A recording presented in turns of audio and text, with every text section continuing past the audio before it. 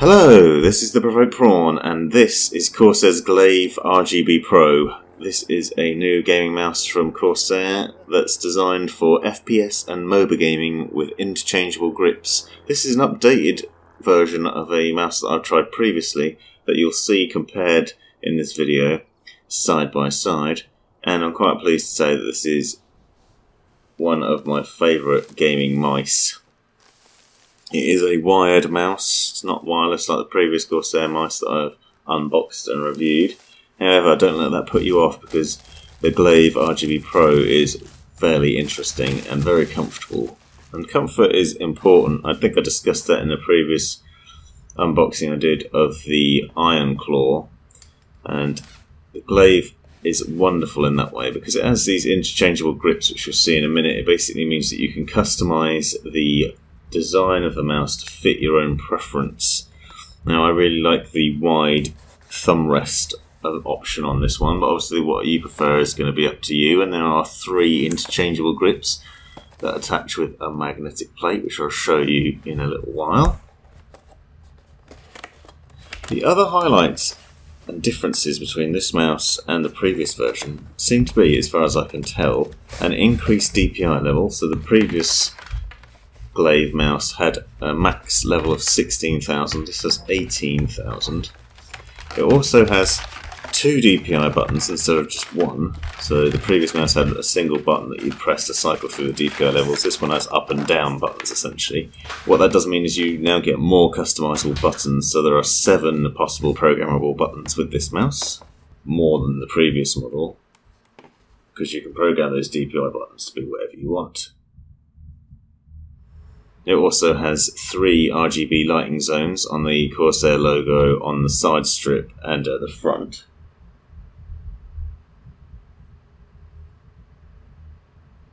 And here you can see the mouse as it is coming out of the box. Nice braided cable, which I also notice has been updated, and I'll show you a comparison of that in a bit. And then the interchangeable thumb plates. The one on the left is my favourite gives you a nice wide bit of space to rest your thumb on when you're gaming, which is great for me because I'm a bit of a clumsy buffoon if you've not noticed from previous videos. So I like to have a nice comfortable setup.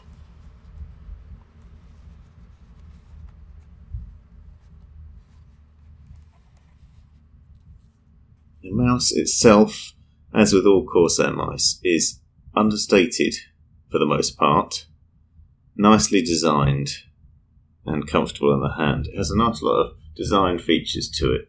I often feel like Corsair um, mice initially appear a bit cheap in the design. They're quite plasticky. They might not strike the eye quite like other mice, or perhaps feel as much heft in your hand. However, the quality is undeniable. I've been using Corsair mice for many years, and the Glaive, as I said, was one of my favourite mice before, and it's actually really affordable as well, considering that. A wired mouse obviously is a bit cheaper than the wireless versions out there as well, so the Glaive is at, at around sixty pounds, I believe, maybe slightly less, and at that price point, it's actually a very appealing option. You can see it has these large thumb buttons on the side, as well as the swappable grips the front lighting, a nice textured mouse wheel, very thick premium braided cable. So here you can see the two compared. On the left hand side is the original glaive, which is filthy, because I'm an animal. I like to eat while I game. And on the right is the brand new, fresh out of the box Glaive Pro. You'll note there doesn't appear to be that many differences as you can see, as I said, there are now two DPI buttons on top, but you still get the same five levels of DPI and the LED indicators for that, which I'll show you in a little while. You will note, however, there is a slight difference, not just because it's messy, but in the USB setup. So you note on the old mouse there was quite a chunky USB attachment. The new one seems a bit slimmed down and perhaps a bit snazzier looking, less in your face.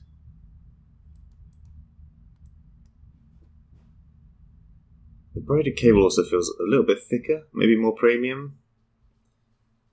Could be my imagination, but that's what it felt like to me.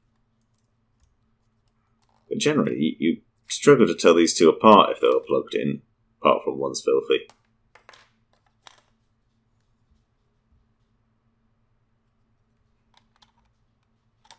A quick close up of the thumb plates, easily removable. You can see how they attach here. Basically, just they don't even clip in. They've got clips on them, but there's strong magnets in there that pull them into place, and then they just lock in, and it's nice and easy to use. If you're wondering why I've not peeled off yet, it's because I wanted to do those beach shots that you saw at the beginning, and I didn't want to get sand all over it. Now, you cannot, unfortunately, and I wish this was a thing, remove the other side. If you could have adjustable grips on both sides, be a way. That was one of the reasons I really liked the Dark Core mouse, was the fact that it had this rest on either side. So you've got a rest for your pinky and for your thumb. Obviously, it depends on your preference, how you grip your mouse, the size of your hand, and all those things. Uh, for my personal preference, I've got quite large hands, and they usually fit over mice, my fingers and thumbs get in the way while gaming, which is not ideal.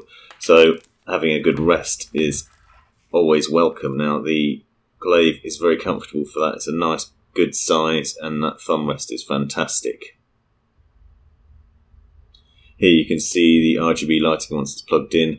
As I said, you've got that strip down the side, the Corsair logo. You can also see the DPI lights there. Now you can also customize those within the software, and I'll show you that in a bit. And here on the front, you see the forward-facing lights. Now, this RGB lighting isn't over the top. When it gets starts to get dark, it's just a subtle strip down the side. It's not too obnoxious. Actually, you do see a bit of light bleed from the right hand side of the mouse as well, down that side, but for the most part, if you're a right handed gamer like I am, then you're going to see what you're meant to see, which is the, the strips down the side of the Corsair logo. You can see the floor, the future floor to the thumb grip is the rubberized textured grip ends up with dirt ingrained in it, and you won't believe how often I'm cleaning that and it's still filthy. That's the new the new one obviously is a lot cleaner. Take better care of your stuff. Don't eat in game.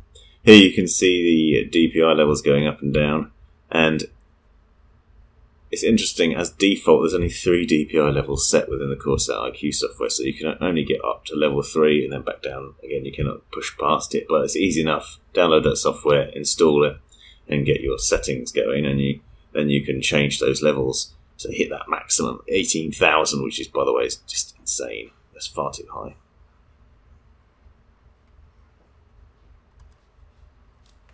Corsair Glaive RGB Pro now tops out as one of my favourite wired mouses, an update to the previous favourite wired mouse.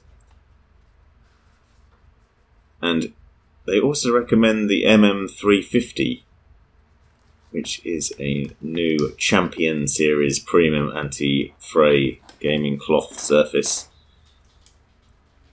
which I'm also unboxing as a surprise treat halfway through this video.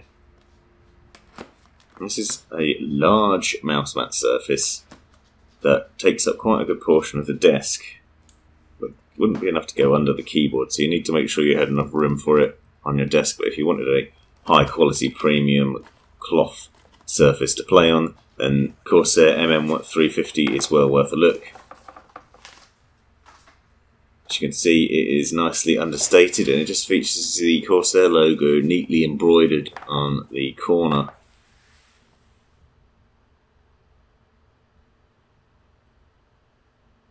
Gives you plenty of room, as you can see, with the mouse on there.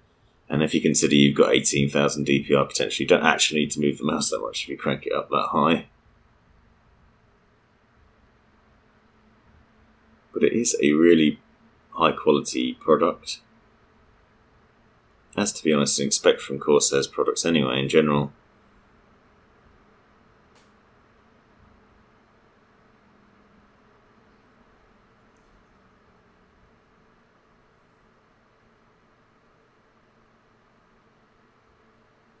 Another highlight to the design of this mouse is those large thumb buttons are very comfortable and easy to access because you can program them with anything you want macros, other button presses, or whatever. Then you can really get a good experience with FPS games if you need to switch quickly. I really like that design. I like easy access thumb buttons. and to be able to have such large textured buttons that are there and easy to feel when you need to in the heat of battle is really beneficial.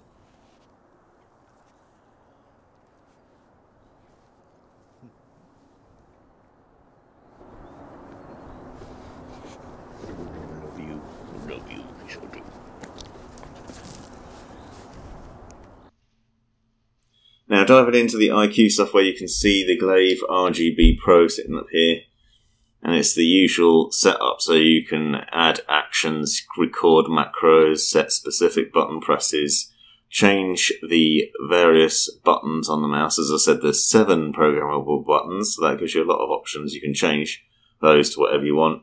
In the lighting effects section, you can see you've got the lighting edge, front zone, and logo zone, and you can cycle through various different settings in there, including the lighting link to cycle while synced with other Corsair devices, including keyboard, uh, case fans, and things like that. And obviously, you can choose from a variety of different color gradients and set it the way you want it.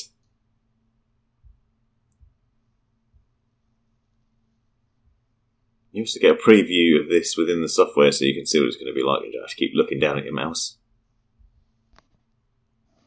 And there are a multitude of options. I personally like a good static colour, but if you want something that reacts nicely to what you're doing, then there's another option. Now, into the DPI, the, the default settings, as I said, actually two of them are turned off, so you can only see three. I've already tweaked this settings a little bit, and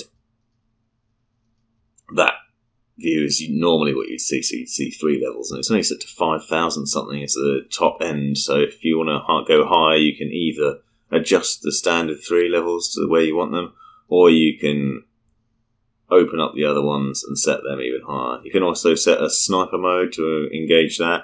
So you'd set a button to put sniper mode on, turn that on, and you'd have a much lower DPI. You can also set the color of the DPI indicator to different colors as well, so you can customize that lighting too. We have to do it from there rather than from the lighting effects panel.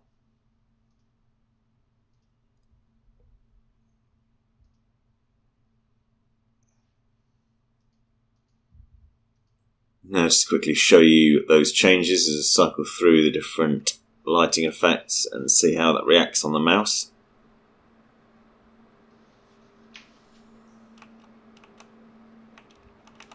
It actually gives a really nice glow to it, but really subtle. Like the front lights, you rarely see because it's facing forward, and it's not something you look you spend time looking at the front of your mouse. So I really, I just don't find them obnoxious. It's just subtle and beautiful lighting.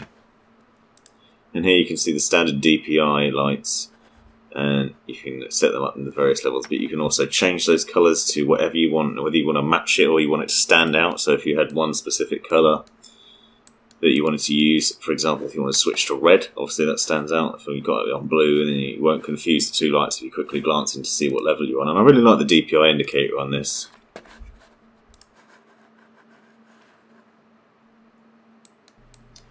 Thanks for taking the time to watch this video. Hope you enjoyed it, found it useful, interesting, or humorous, or all of the above.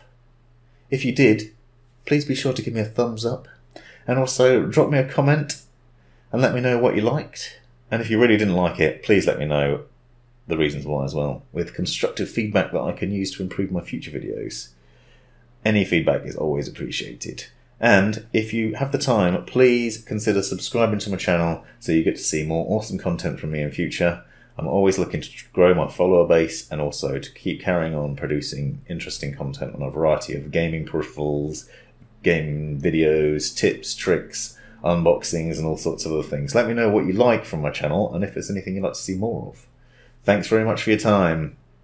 Have a great life.